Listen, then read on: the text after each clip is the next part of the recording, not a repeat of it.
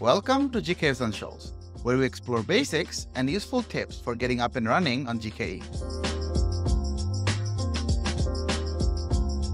Tensor Processing Units, or TPUs, are chips that Google created to speed up machine learning tasks. TPUs make machine learning model work more efficiently by using hardware that is purpose-built to accelerate ML computation patterns. For example, matrix multiplication or communication amongst workers in a cluster. TPUs also have built-in high bandwidth memory. This allows it to run even the biggest and most demanding models. A TPU training supercomputer features hundreds of TPU chips connected together with a high-speed chip-to-chip interconnect called ICI. ICI links coupled with TPU software stack allows you to scale your workload from one chip to much larger scale with ease. Based on your workload, you can choose to create a specified subset of this supercomputer as instances, referred to as TPU slice. You can use a single TPU slice or even multiple TPU slices to accelerate your large-scale training jobs. Or use smaller slice shapes down to a single VM with a single chip for inference.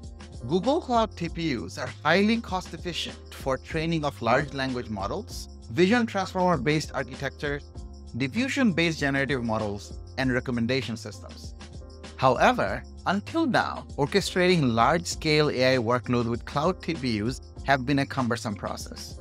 Users had to perform a significant amount of manual work to handle failure, logging, monitoring, and other basic operations.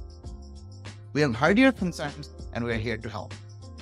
With the announcement of cloud TPUs in Google Kubernetes Engine, we are providing the much anticipated support for GKE for Cloud TPU v4 and the latest fifth generation Cloud TPU v5e. With this, it will be easier than ever to develop and manage large-scale AI workloads on cloud TPUs. Cloud TPUs in GKE combine the price to performance of Google's custom designed TPUs with the power of GKE. This means you can use the simplicity of GKE to run your AI workloads and take advantage of GKE features like auto scaling, auto provisioning, auto repair, and auto upgrade to ease the burden of day two operations and manage your resources more efficiently.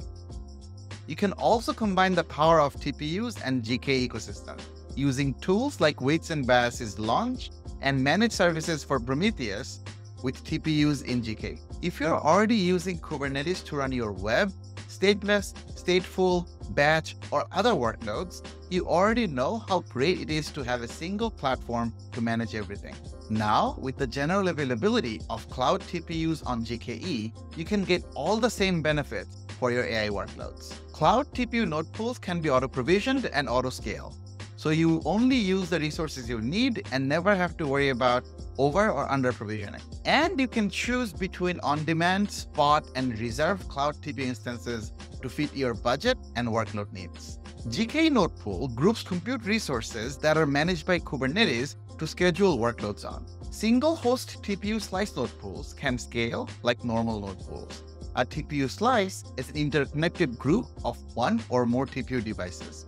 A TPU device is another name for a single TPU VM or host. For TPU v4, this is a v4 by 8, which has 8 tensor core, 4 chips, and the topology of 2 by 2 by 1. TPU topology refers to how the TPUs are connected together.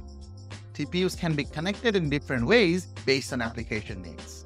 A multi-host TPU slice is a single atomic unit. That is, if any of the TPU devices within the node group fails, the entire slice cannot be used. A multi-host TPU slice also can be autoscaled after provisioning. The TPU chips in the slice are interconnected in a certain physical mesh defined by the topology. Therefore, a multi-host TPU slice in GKE is represented with a single atomic Kubernetes node pool. For example, a TPU v4-32 has a topology of 2 by 2 by 4 meaning that there are four TPU devices connected with high-speed interconnect.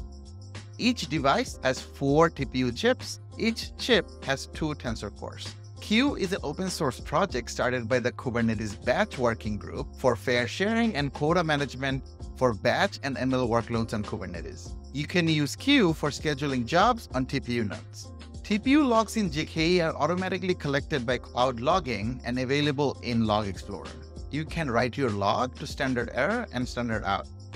You can also forward these logs to PubSub, Cloud Storage, BigQuery, or any other third-party platform. This has generally been a challenging task in TPU workloads.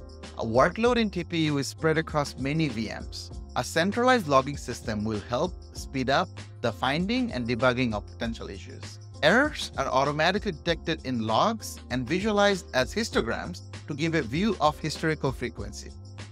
This lets you quickly identify common problems and the history of the error. Many metrics are exported to cloud monitoring, like duty cycle, which indicates percent of time the TPU is being actively utilized. This helps determine the efficiency of our TPU usage. These metrics can also be used to configure Kubernetes horizontal pod autoscaling. TPU v5e is our latest offering in our TPU AI supercomputer family. Cloud TPU v5e is designed to enable the next generation of AI applications. It's our most cost-efficient, scalable, and versatile cloud TPU AI acceleration platform to date. TPU v5e offers up to 2 times higher training performance and up to 2.5 times inference performance per dollar compared to TPU v4 for LLMs and generative AI models. In this video, we talked about how TPU and GKE work together to give you the power to build the AIML platform of the future. To learn more about TPUs and GKE, click the links in the description below.